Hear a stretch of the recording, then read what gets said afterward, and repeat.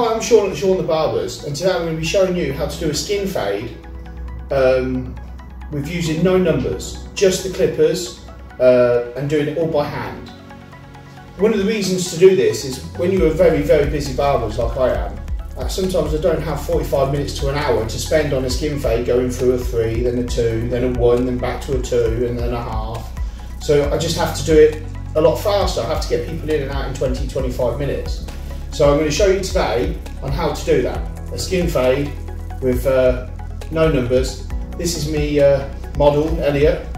Probably fir first and last time he's ever called a model in his life. And um, yeah, let's get to it. So we're going to start off by putting a hard line in, all the way around the head, keep it nice and even, like you normally would do a skin fade, like you normally start it. Elliot has about half an inch per year.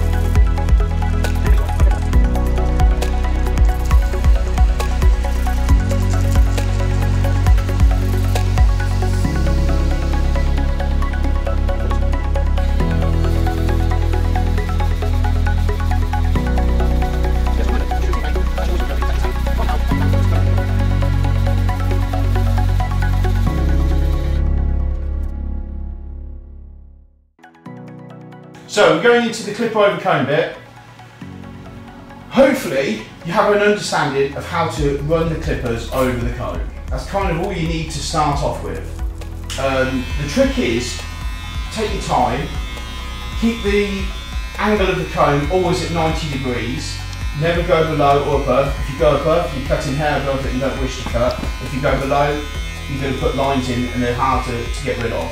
So you just bear in mind that always when you pull the comb out, you've got all the hair at 90 degrees exactly.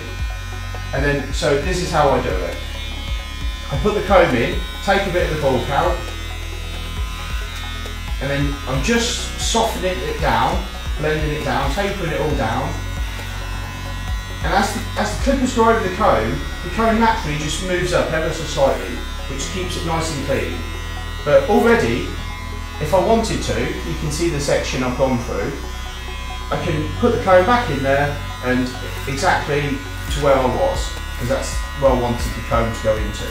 Now, you can still see it's quite a heavy line at the bottom where we want to get rid of the skin fade into the taper. But let's move forward first. The same again. So I've got my guide here if you want to use that. Um, but I pull out the hair and take it 90 degrees and then soften it down with the clippers over the comb. No guards, I'm not going to use any, just going to do it all by hand. Running the clippers over and then running it through. And you can already see a nice shade coming through the hair. But Elliot, he likes to keep a little bit of bulk here so he can run all that forward. So I don't want to scalp him just to blend it in. I don't want to lose the corners. I want, but um, so just keeping it nice and blended, keeping that length there. He likes to keep a bit of fullness, which is, you know, some people they don't like to keep the fullness, which makes this haircut a bit easier to do. But the reason I chose Elliot to show you that you can keep bulk, you can do it very, very low, and still blend it down perfectly. Now the next bit is to use the corner of the combs, and then it goes in at this angle. You can't catch it at this angle because all you do at the back of any comb will flatten the hair down. So the comb has to go in at this angle. So basically, you're turning the comb into like a number two to one and a half. And then you just take the tips off. And that's, them, them little bits there is what allows you then to put on the half, flick it in, put it on the naught, and just get rid of the line altogether. by doing that. Without doing that, let's say I didn't, and I just carried on tapering it down, clip over comb, see my comb is wanting to go in that angle, without me even trying, I've got too much of a weight line. So let me show you, if I try, I won't be able to knock the line out. All I'm going to do is move the line above it, so it's just going higher. So I'm not knocking it out, I'm just moving it above the hair. So you can see it's got a nice shade there, but it hasn't got that nice shade there. So if I put it on the naught and then flip that in, one of the things you're going to have to learn when you try and learn this is to know where the, you've got to know exactly where the teeth are all the time. That's imperative. But if I put my comb in, I can see them hairs there that are still too long. And that's because I haven't put the comb in at this angle this is what, this is the difference. But as, as straight away, surely, you can see how much quicker it is to taper in a full skin fade without using any guards. And getting exactly the same effect. There's no point learning a new technique and it's worse than, worse than your old technique and there's no point doing faster haircuts and losing customers. So same again. We start off on the crown, we work our way down, shaving it down nicely. And then as it gets tighter, my comb just naturally goes in at this angle. But bear in mind, it never goes in at this angle. So I'm keeping it away from the head. Just like that comb is probably exactly the same line as my clippers are there. So it's exactly the same. Then make sure you haven't missed any. It's always good to keep checking your work, making sure. But I've knocked that line out in seconds without using any, any numbers.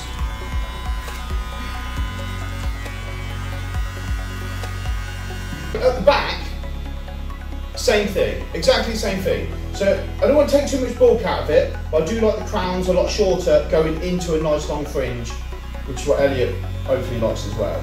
So same thing, taking the, just softening it down, softening it down.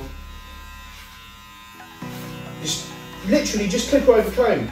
One of the things you can imagine while you're doing it is that you're blending it into a number two. And then the only difference is, if I, if I was blending it down to a number two rather than a skin fade, I wouldn't probably, I probably would still do that, but not as much, and not make sure that you have to do it. Because if you don't get the comb into the right angle, so you'll see now, I've got too much bulk around here. So, blend it all down nice, perfectly. And then the comb automatically starts going in about nine, you know, 45 degrees. And then when I want to fine tune the last little bit, I, turn it, it goes in straight down. But coming away from the head, it's always coming away from the head. So I'm working on these few little bits right at the very bottom, nothing more.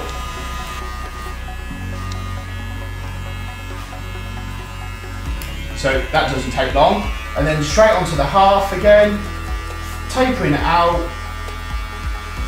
Now what I'm not doing um, hopefully you'll get a great view from that angle, is I'm not rolling the clippers. There's too many people, when they roll the clippers too much like this, they wonder why the line gets more, is because the hair's coming down, it's being rolled into, so you're making a curve like that from rolling it, the hair's coming down and making a line somewhere where it goes through it.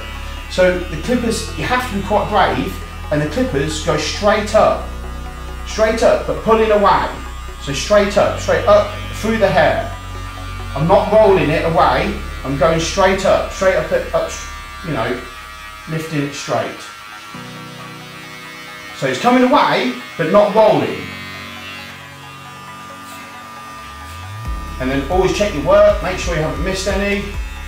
And then to get rid of the, the line, same thing, but little the jabs and just slowly watch it just disappear it'll take a, a, quite a while to learn, but once you've got this down, what a great asset to have. What a great feather in your cap. to to be able to speed yourselves up and get things done a lot quicker. And trust me, I know what it's like having 12, 13 people waiting and uh, they're getting impatient and they want to get done and uh, and um, and the pressure that comes with it. So I'm always trying to find not cheats, but ways to do the same thing but getting it done. So let's go through it just one more time. The cone goes in, 90 degrees, so you put in the hair up nice, because you're getting towards the top of the, the hair now, so you're not really cutting the sides as much. But I, I might as well, because I'm, I'm showing you how to do it fast, do all this, and then I've only got a cut through the middle here. So, and you can, you can do a lot of it before you even get there. So I'm softening it down, softening it down,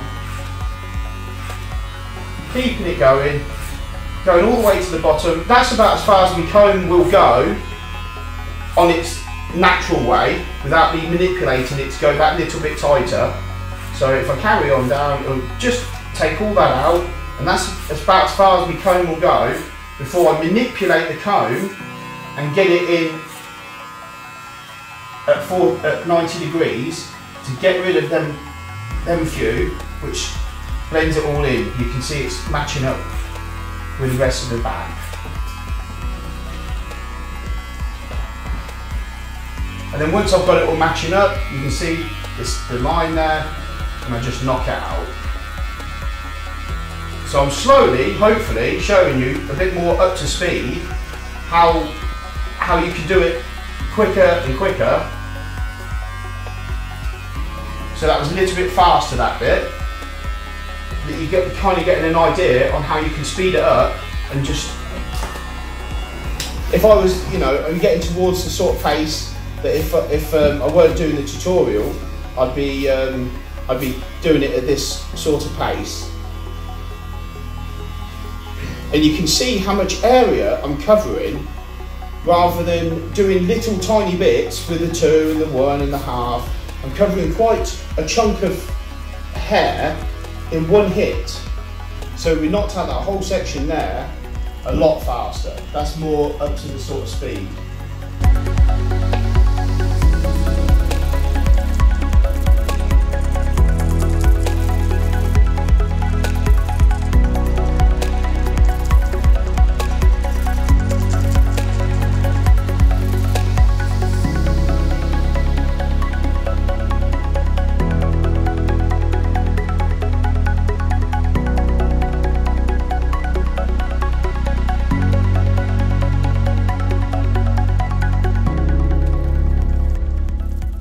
Give us a like and subscribe. Hope you enjoyed it. Hope it helps.